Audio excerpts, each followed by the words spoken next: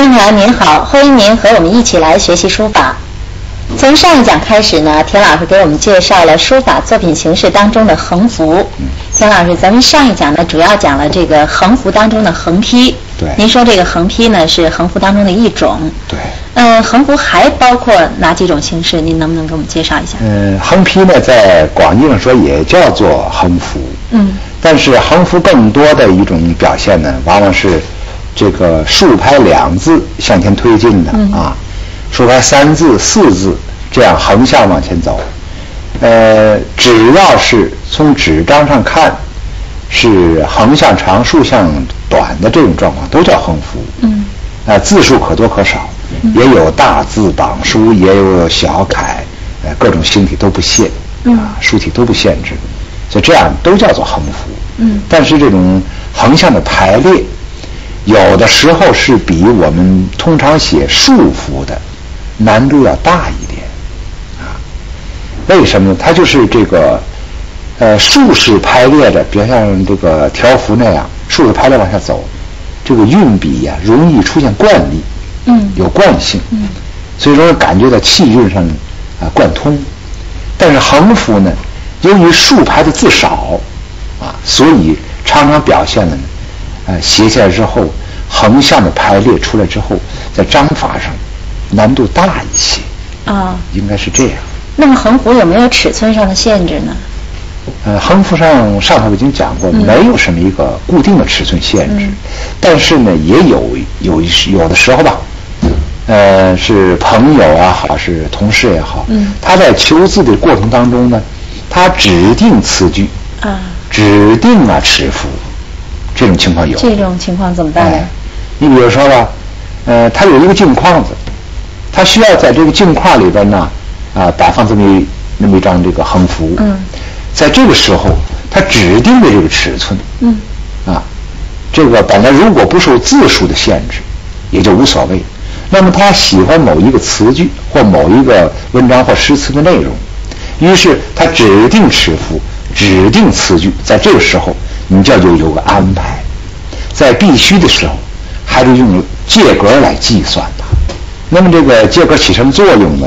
它主要是你比如说这张纸啊太大，如果你不计算，你这么趟的往下写，结果词句啊很短，纸张大了，你说你不裁掉吧，它显然后边这张纸这块纸是多余的；你裁掉吧，人指定的尺幅呢就不够标准。嗯这时候有，还有的时候呢，就是说本来这个纸啊比较小了，你字数太多写不完，你没办法还变成小字，总得写完在这张纸上吗？这时候觉得在章法上又觉得不太讲究了，啊，应该是字数也完了，纸张呢也用尽了。嗯啊，当然这包括落款呐、等等方面，呃，感到不拥挤，也没有说什么这个剩余的地方，嗯那么排列出来就是比较好？您谈到这个借格，借格究竟有哪几种形式呢？借格一般呢就是叠格和画格，呃，叠格呢就是我们平常把纸啊，呃，叠一叠计算计算，嗯，呃，在写的时候它起作用，装裱出来之后呢，这些这个叠的格呢就自然消失了，啊因为宣纸上呢，只要通过这个呃用水阴湿之后，格就自然消失了，所以那个格呢只起到呢在写字的时候有计算作用，嗯。那么这个画的这格呢，除了这个作用之外，它还要保留下来。比如说我们这个呃写的这个小楷啊，有时候就用呃红格打出来。啊，还有时候呢就是一些个中楷字也要用红格打出来，有时候打在卷上，有时候打在白宣纸上，有时候呢打在瓷青纸上。啊，还有时候是这个这个打在其他的黑色纸上啊，在特殊需要时候有这个借格的表现。嗯格子呢，一般的说是红格的，但是如果打得太深的颜色上，也有时候用啊浅黄色的格，这倒不太讲究。关键是格就留下来了，这格留下来是干什么用？就说它要强化你的这个形式作用。比如说，我们在楷书当中打了红格，是强化这个楷书更加楷化，嗯它起这个作用。他能看到这个格子本身是一个陪衬，显得楷书呢给人另外有一种感受。嗯。所以格子呢有时候起作用的是在这方面。呃，还有的那个，比如说写诗碑呀，啊这些东西，碑文上的东西提前也都有借格，啊，所以我们看一些个九成宫啊，什么这个颜真卿的多宝塔等等吧，这上面都有一些个界格，只是赶后来慢慢慢慢的有些东西分化剥落不清楚。那是不是不同的书体应该有不同的界格呢？呃，应该是这样。嗯。呃。同是楷书也不相同啊，比如说小楷的格啊，嗯，呃，应该是扁方的，不应该是正方的啊，因为小楷啊十分讲究行气，因此这个格呃，应该打出来是扁方的，啊，也就是横向宽呢，竖向窄。如果是中楷以上，应该打方格，啊，横竖这个。都是应该是以方啊来这个呃来计计算的。这个行书啊，呃，它不应该再打横格，因为行书呢，呃，横不成列，所以呢，几乎是要求到行楷也不应该打横格，因为行楷已经也是横不成列了。嗯。啊，所以这个行书啊，行楷如果打格，哎，就是只能是哎。竖式的，那应该说草书更是如此。草书严格的讲不应该再打格，嗯，因为草书很放纵，嗯，如果再打格的话呢，完了对他有一个约束，嗯，啊，是这样。当然是偶然的这个小的这个小篇幅的，或者比较工整一点的草书呢，打格也不能说是错，嗯，你比如说这信纸，啊，在古代呢，呃，叫做这个手札呀。呃，尺牍啊，啊，这些东西，往往这些个我们现在的信纸吧，信笺上面都有格而这个书信上用的书体呢，又多是行草，所以呃，这些格有时候起到一定作用。但是往往写草书的人呢，也不大不大拘泥在这上面，有人就随便一写，写格里有格里，写格外有格外，不被他拘束住。嗯。那么这些个呢，都未尝不可。但是如果你是有意的打了红格，你虽然是在写草书，你也必须得遵守。如果你不遵守，你打那个红格起什么作用？如果你表现我的草书潇洒，我故意写在格外边，其实那个格子倒给你起了个很混乱的作用，在视觉上更不舒服。嗯。所以有红格尽量要遵守。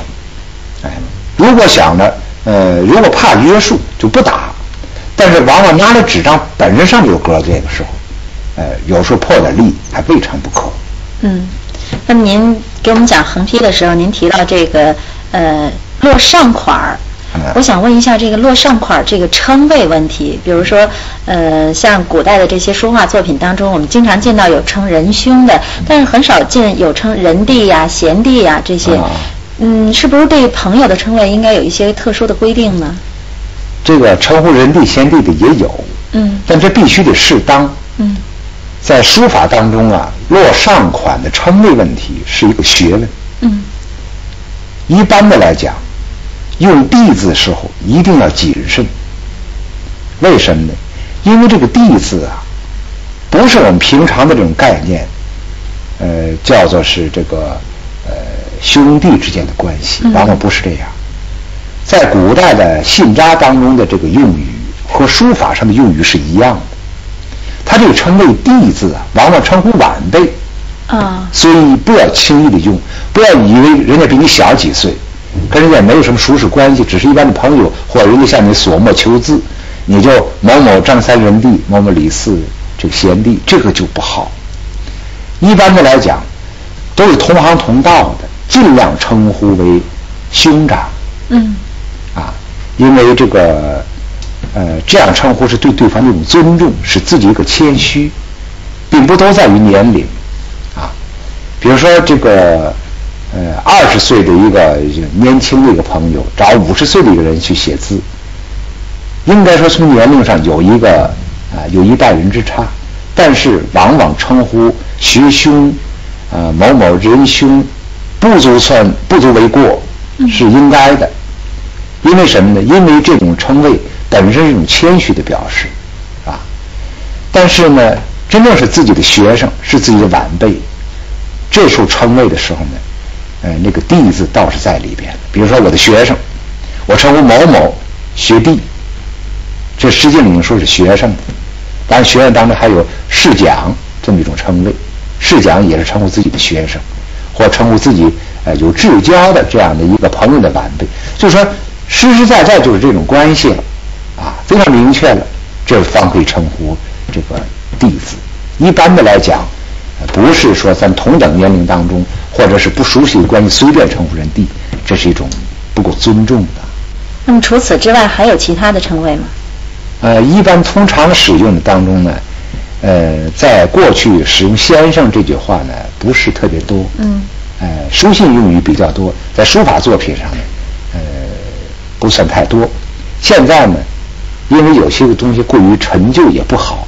你比如过去经常使用的这书法用语称谓上，某某仁兄方家雅正，或某某仁兄大人雅主。那个家属那个“属”字啊，在人家念“主”，是主妇的意思。那个那那个字的意思啊，所以呢，这种称谓啊，现在似乎看来就是稍稍陈旧一点。可以用某某先生、方家或者法家。方家、法家是内行啊，是这个书道本行的一些个啊这个知音者的意思吧啊。法家或者方家指正啊，当然指正、雅正、校正。悔正、辅正等等这些个书法的这个用语很多，只是说在称谓上呢，除了自己的亲属之外，确有一个啊私人之间的一个固定称谓者。一般的来讲，最好称呼先生，啊，包括这个兄长之类的称呼，但是不要称呼职务，因为职务啊随时都有变动啊。比如这个人是个局长，你称他局长。他明年提升为市长，嗯，你这时候你那个就觉得好像这张作品呢就有点啊过时。他再挂的时候觉得觉得好像呃不太合适。嗯，刘芳这样，咱们现在写一篇楷书，嗯，两个字横排向前推进的这样横幅，啊，写一篇楷书看一看。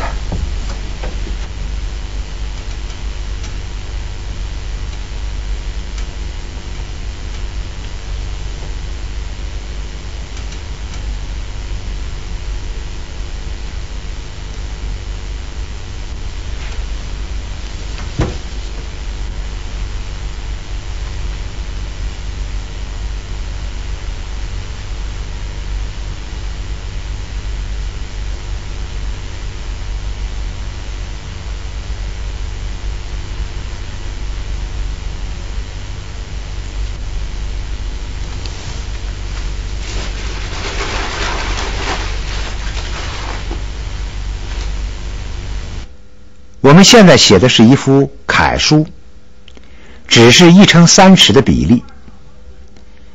这张纸上已经叠了格。写楷书、篆书、隶书，应该有界格。不管是明格还是暗格，都应该有个计算。我们所说的暗格，就是叠的格，装裱以后不会留下任何痕迹。当然，也有人呢，这个写篆书、楷书、隶书呢，不用这种界格的。也就是说呢，不求其工整，而追求消散，这都未尝不可。但是呢，为了工整起见呢，还是应该有界格。但是界格有与没有，都绝不说明水平问题。往往有人觉得你在叠格、在画格，似乎好像你很这个初学的样子。其实不然。我们见到历史上的有些个书法作品，篆书、隶书、楷书等等，多数都是有借格的。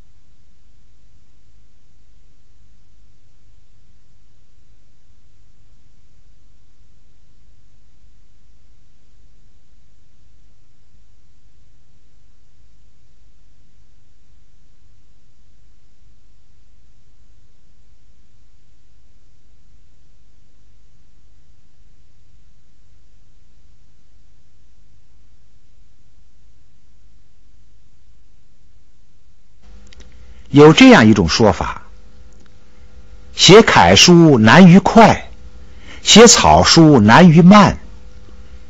这是什么意思呢？就是说，写楷书的时候，如果太快，往往使笔墨轻滑，不容易表现力度；但楷书写的太慢，又会使欣赏者感到有一种压抑。并且写楷书写的太慢，也会失去一种气势。因此，要求写楷书，既要迅速，又要工整；既要有气势，又要力介轻浮。一句话，就是又要快，又要好。这就得看书法家的功力。功力是个书法的核心问题。没有功力。什么聪明、学识、修养，都将成为一种空谈。尤其写楷书的时候，没有功力，最容易捉襟见肘。这是一副联语，一般说呢，联语应该写成竖式的两条，也就是楹联的格式。有关楹联方面的一些常识呢？我们放在下边的几集中呢，再专门论述。这种联语除了写成这个楹联格式之外，也可以写成呢像这样的横幅或者是竖幅啊等等的格式。这副联语的词句是：“竹密不妨流水过，风高起爱白云飞。”字面的意思呢是说。竹林无管多么茂密，也不妨碍流水的通过；山峰呢，无论有多么高耸，也不妨碍白云的飞过。它的含义啊，基本是说，无论有多大的困难和障碍，都不能阻挡那些有大志向和有大本领的人。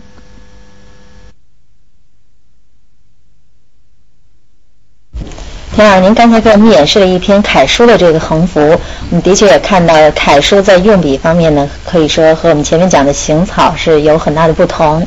对，嗯，这个楷书啊，就应该是一丝不苟，它在用笔方面非常的讲究，嗯，呃，讲究功力，所以呢，呃，如同我前面所说的那样，与其说唐人上法，宋人上意，不如说，呃。楷书上法，行草上意更为准确。观众朋友，感谢您收看我们今天的节目。下次节目呢，田老师将给我们讲一些条幅的内容。欢迎您继续收看我们的节目。